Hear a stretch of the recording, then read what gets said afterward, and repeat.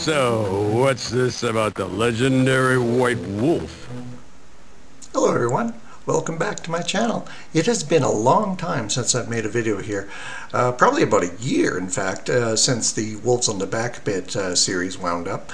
And, um, well, I, I finished another little project. You see, uh, many times during the Wolves on the Back project where the goal was to make a, a, video play at six frames per second, I took a little diversion. I never really explained it in the series itself, but I kept trying to find shortcuts. If I could make that bitmap represented as character set instead, I knew that's that was the breakthrough I needed to break through break past six frames per second and beyond. I couldn't do it. Uh, try as I might, I couldn't do it, and there's a good reason for that. But after the fact, I had another great idea, and then I knew uh, things started to come together, and I knew that, you know, six frames per second, who cares? Let's do it. Let's go for 24. Yes. Would you believe that I made a video clip six minutes long with digital audio play it 24 frames a second without skipping a beat. and you guys believe that kind of talk. Waste of time. But it might be true, buddy. Yeah, lots of guys have seen him. But none of them have been eaten up, have they? Isn't that great? Now, the thing is, uh, I was so proud of myself. I tell you, I, I knew I was onto something special here, and I don't think it's ever been done in the, the Commodore world, as far as I know. Um, and if it has, well, uh, well, color me surprised. But when it comes to video, uh, played back on the Commodore 64, you're either using some sort of, you know, basically some hack that takes over the machine completely, or you're using an REU to do it. Now, the, the magic of an REU, well, uh, first of all, let me explain um, the differences between an REU and the BackBit.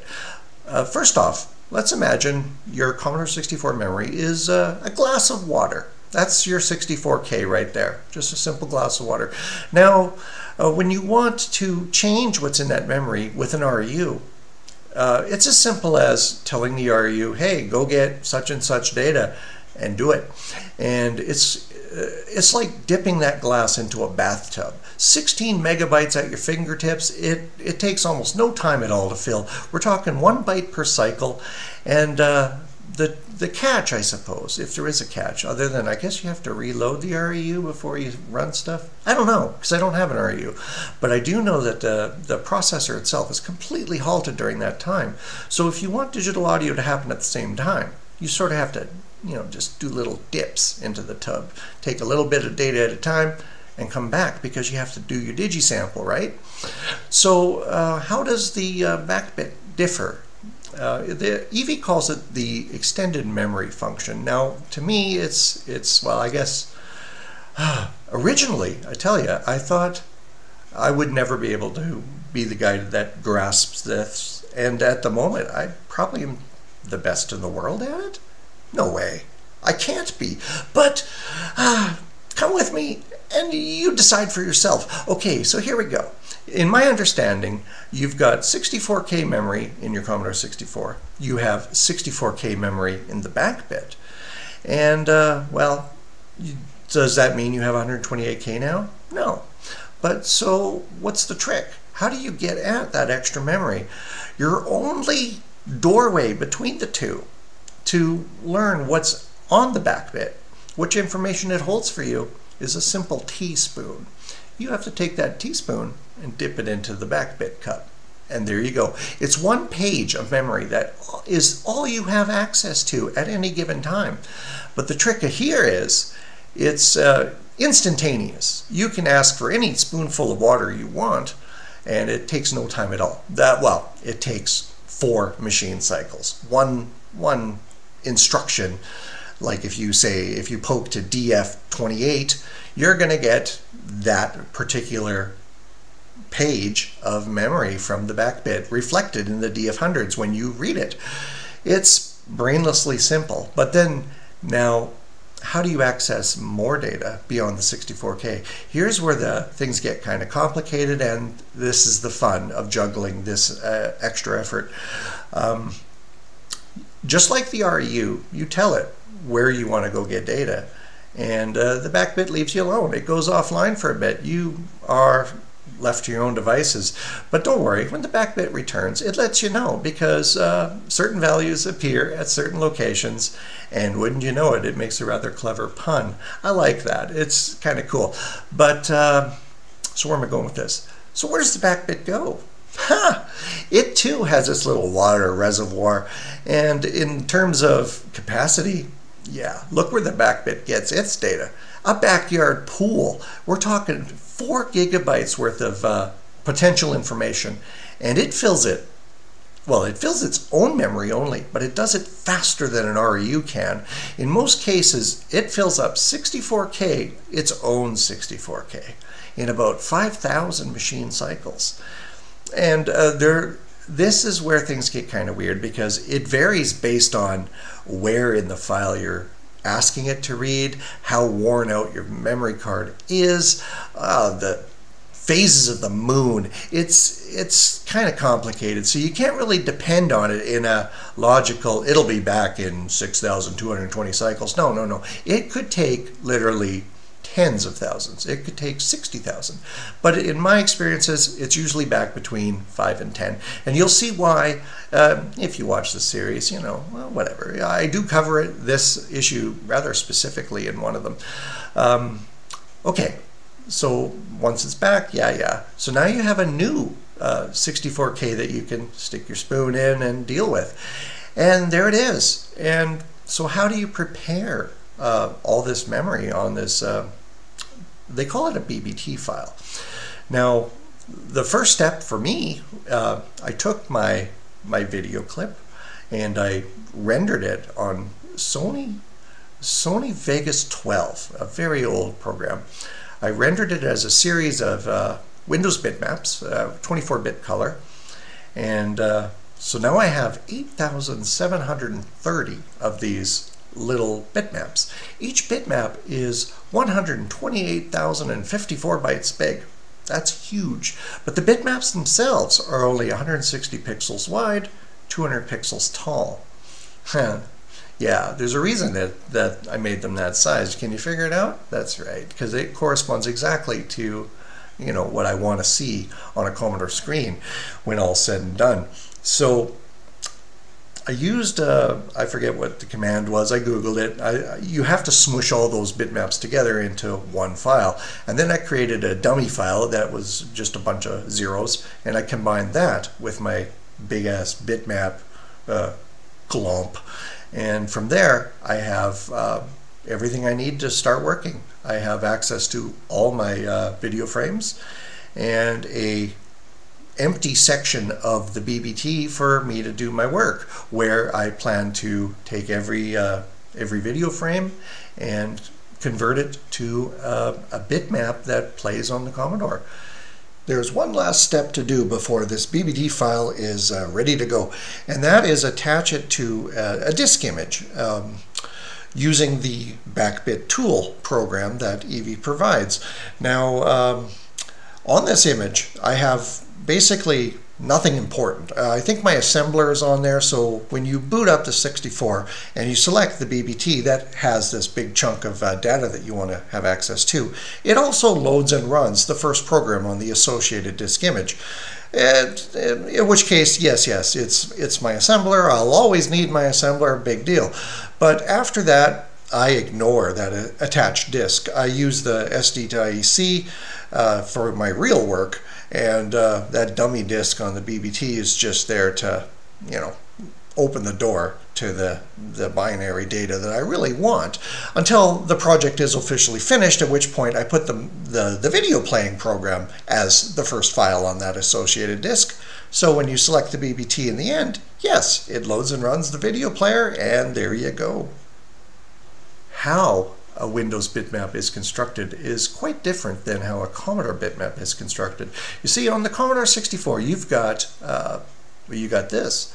It starts off in the top left corner, and it does one characters worth, one cell's worth, and moves on to the next. Sequentially, those are the bytes in order. And when it's done one row, it moves on to the next, and so on and so on, and down the screen it goes.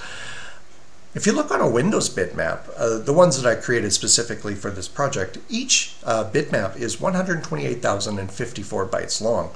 Now the first 54 bytes uh, can be essentially discarded. It's header information uh, that I learned from Wikipedia, actually. Uh, thanks to Wikipedia, I was able to understand how uh, a Windows bitmap is constructed.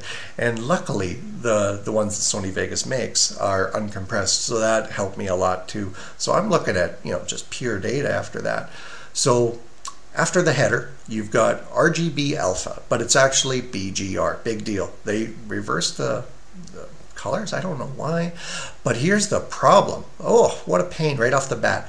A Windows bitmap is constructed from the bottom left corner and it goes uh, left to right like this. Uh, yeah, thank you. And then it does the next line and the next line and the next line and up the screen it goes. So sequentially, I need to convert what I'm seeing here to what I need on the Commodore screen. And as you can see, uh, it's kind of going to be a pain, right? Uh, old Scooby doesn't like this. but th thankfully, because I am using a BBT, I was able to jump around uh, large sections of memory. And what I effectively did here, I was bringing in 5K at a time, which is eight rows of the Windows bitmap, which coincidentally uh, will equal eight rows of the Commodore bitmap and I had to jump around in memory quite a bit the first uh, little while, but I wanted to reconstruct the Windows bitmap into Commodore format. But I didn't just uh, do it in one step. I I turned the 32,000 pixels into 32,000 bytes, where each byte represented a color, 0 to 15, and not just uh, not a color that would fit uh, legally on a uh, VIC image. The, this is just a number because uh, you can't display more than you know two or three colors in a cell or whatever on a bitmap. But I did it anyway because I plan to do more uh, data massaging later. But what I did is took the intensity of these colors and uh, used them as a simple lookup to come up with what you see here. Uh, so we have these dark sections and these lighter sections, and they all represent uh, one of the colors that it's actually putting down. Which one, I don't really know. But it works out well because now I get to see what's going on, and it's kind of cool. Now, I was getting all ready and all excited. I was going to add dithering, and I was going to add the, uh, the, the final steps of converting this to a simple bitmap in one go. And I realized rather quickly that this is going to be difficult to do uh, a little over ambitious. So I ended up taking my uh, my big bitmap uh, clump, which is uh, over a gigabyte of data, I think, and I I recreated the BBT. Instead of having 8,730 times 32k of blank space, I had uh, 8,730 frames times six or 96k of blank space before the Windows bitmaps. And the reason for this is I had the, the first 32K uh, chunks of buffers was meant for uh, the, the breakdown of the final bitmap, which I now plan to do later. But those uh, intermediate sections that are 64K in size, this is where uh, I finally got to my senses. I used the, uh, well, the 128,000 uh, byte bitmaps that are, you know, RGB through 8 bits each. And I converted them down to simple uh, 5-bit color for each one, each RGB component, and I had to sort of split one of the colors over 2 bytes to make it fit. 32,000 pixels, uh, 2 bytes per pixel, and now an entire uh, you know video frame is uh, reconstructed as a as a 64,000 bytes which conveniently fits on one BBT fetch. Now that was important because now I can bring in a whole frame at once and uh, chew it up any way I see fit without having to go back to the, the BackBit and start, you know, calculating offsets and uh, doing all this stuff. But I think the second time around, uh, because the colors are different, you see, instead of, uh, uh, because I don't have a, a final color at this point, it's just uh, RGB 5-bit value colors. So I, I took some sort of, uh, I forget exactly where they come from. Maybe I'll show it on screen if I bother to look it up. But I basically took uh, an element based on those values and I used it as my reach into the lookup color thingies and uh, so I get a visual representation of what I'm doing there. And there you go. Ah, for the first time in this project, I felt like I, I had a lot more control. I took the 128,000 byte uh, RGB Windows bitmaps and converted them down to 15-bit color and arranged the, the new pixels in the, the format that a Commodore 64 expects to see them. Ah, good stuff. And uh, I let it go at it, and it took, you know, uh, many hours. I, you know, who cares? Uh, this is great. I felt, ah, I felt so great just coming home and, and, and watching this thing just going through one frame at a time. Ah, and uh, that was it for the first step. The very first step is just that. And that's it for this video pretty much. And uh, well, oh, check out the little Wolfie picture. Yeah, he's got the right idea. You know, if you have something to say, you want to tell me I suck, you want to tell me this was great, well, uh, I'm all for it. I'll take the good with the bad. Uh, anything helps the algorithm. I want uh, Commodore fans to at least get a chance to see what this is all about. And speaking of that, what is this all about? Um, this whole series, if you're interested in programming, if you're interested in the, the process, the bugs, the what did you do and how did you get there and what did you try and not just the result, because the result, you've seen a piece of it. If you want to see the final result, well, come back in a couple months, because I'm sure uh, the last video is going to be the whole bloody thing playing through without a hitch. But until then, I want you to experience this more or less with me in real time. Not real time, because it would take uh, about a year to play these videos out. Trust me, I'm going to try to get them down rather quickly. Uh, but yeah, it's it's I'm just I'm just glad that I'm at this stage again. You know, I I have not seen how majestic I am in a long time, and it's it's good to be back. It is good to be back.